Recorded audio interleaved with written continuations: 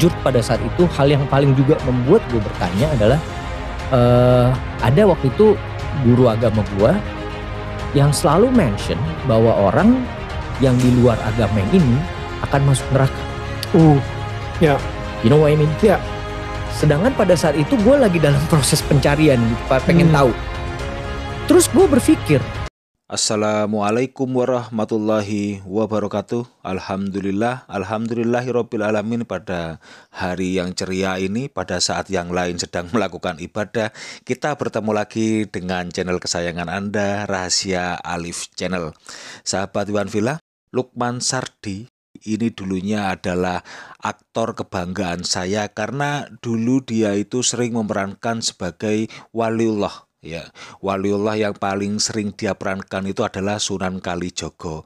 Seorang sunan yang paling tenar, yang paling sangat dikenal di tanah Jawa. Lukman Sardi pada saat itu sebelum dia menjadi murtad. Dan kemudian beberapa tahun yang lalu Lukman Sardi ini katanya itu murtad mengikuti agama istrinya setelah pulang umroh. Lukman Sardi ini adalah putra kandung dari Idris Sardi adalah seorang tokoh musisi yang sangat terkenal di era 60-an 70-an. Kemudian ibunya pun adalah seorang muslim ya. Kemudian karena dia mulai berpikir liberal mungkin ya pikirannya sudah mulai liberal terpengaruh mungkin karena ya dia hidup di dunia keartisan begitu akhirnya dia menjadi murtad. Mengutip tentang apa yang disampaikan di dalam channelnya Daniel Mananta tentang proses murtadnya si Lukman Sardi ini dia mengatakan bahwa dia merasa janggal dengan ketentuan Tuhan atau ketentuan Allah ketika dia masih Islam dulu ketika bagaimana dengan orang yang semasa hidupnya itu selalu berbuat baik, banyak sedekah mungkin ya, banyak nyumbang ini itu dan kemudian hanya karena tidak beragama Islam lalu kemudian dia dimasukkan ke neraka. Jujur pada saat itu hal yang paling juga membuat gue bertanya adalah uh, ada waktu itu guru agama gue yang selalu mention bahwa orang yang di luar agama ini akan masuk neraka. Uh, ya. You know what I mean? Ya. Sedangkan pada saat itu gue lagi dalam proses pencarian, pengen hmm. tahu. Terus gue berpikir. Sebetulnya pertanyaan itu sudah sangat basi. Karena 1400 tahun lalu Sayyidah Aisyah juga sudah pernah menanyakan hal yang sama tentang perihal pertanyaan yang demikian sama persis pertanyaannya ditanyakan kepada Rasulullah Shallallahu Alaihi Wasallam.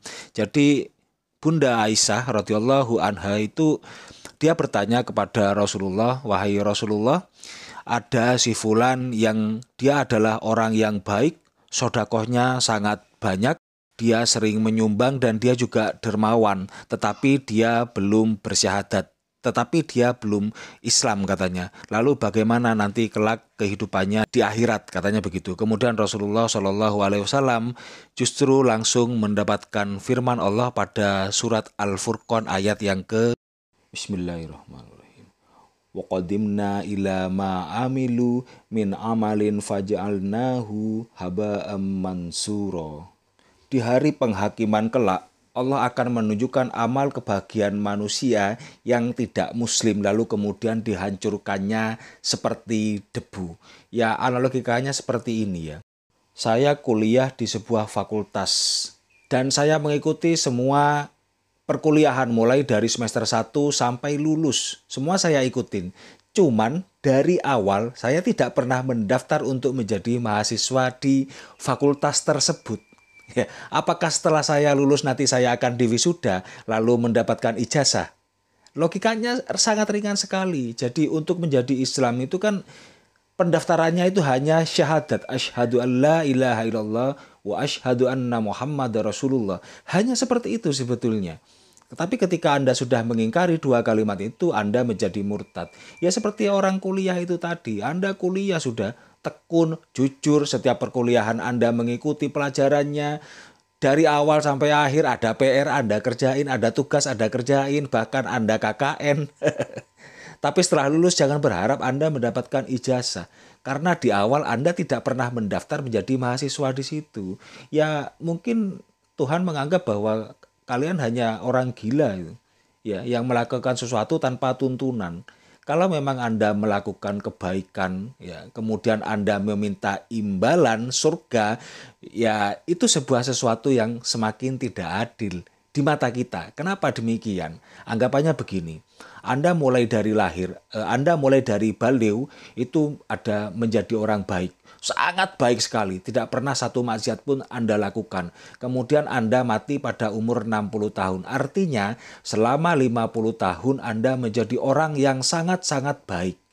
Ketika Anda misalkan minta surga, ya bisa jadi mungkin Allah main lucu-lucuan Anda dimasukkan surga, tapi 50 tahun saja hanya untuk membalas kebaikan Anda.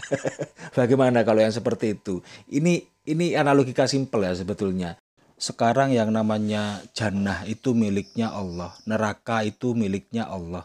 Kita pun adalah ciptaan Allah. Untuk masuk ke jannah Allah memberikan satu syarat yaitu la ilaha illallah. Itu syaratnya untuk masuk jannah. Kemudian kalau berbuat baik itu adalah ya itu memang perintah Allah juga tetapi itu perintah bukan yang utama untuk masuk ke jannah ya. Jadi untuk masuk ke jannah itu kunci surga itu adalah la ilaha illallah. Tidak ada kunci surga yang lain selain itu gitu. Jadi jika Anda memang di dalam kehidupan nanti berharap untuk masuk surganya Allah, jannahnya Allah, ya Anda harus pegang dulu kuncinya begitu.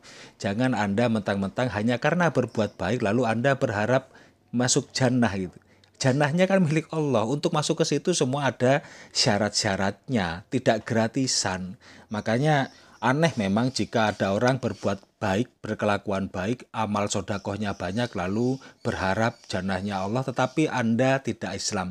Itu sangat-sangat aneh.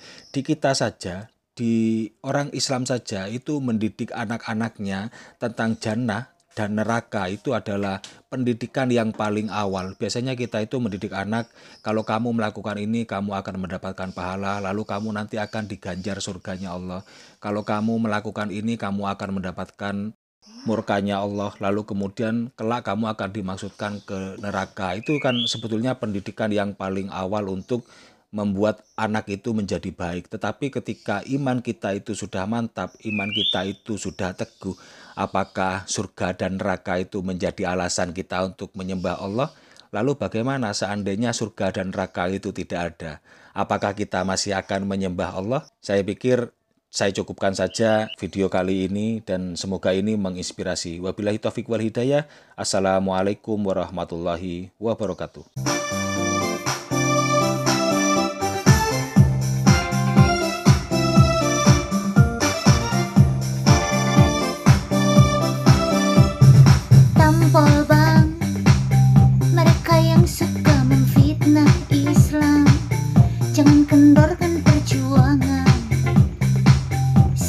terus sempat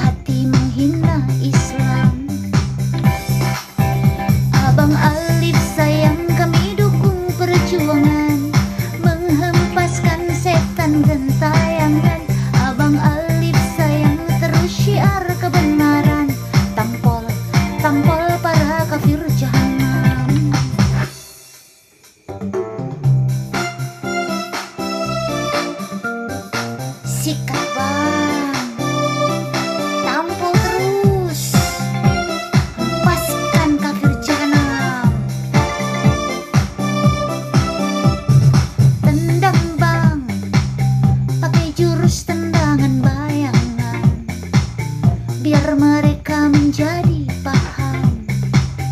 Jangan main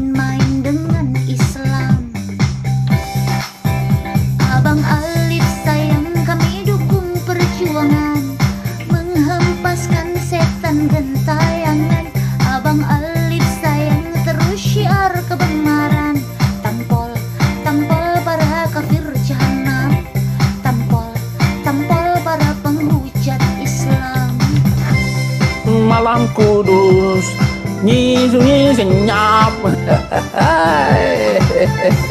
当 宝。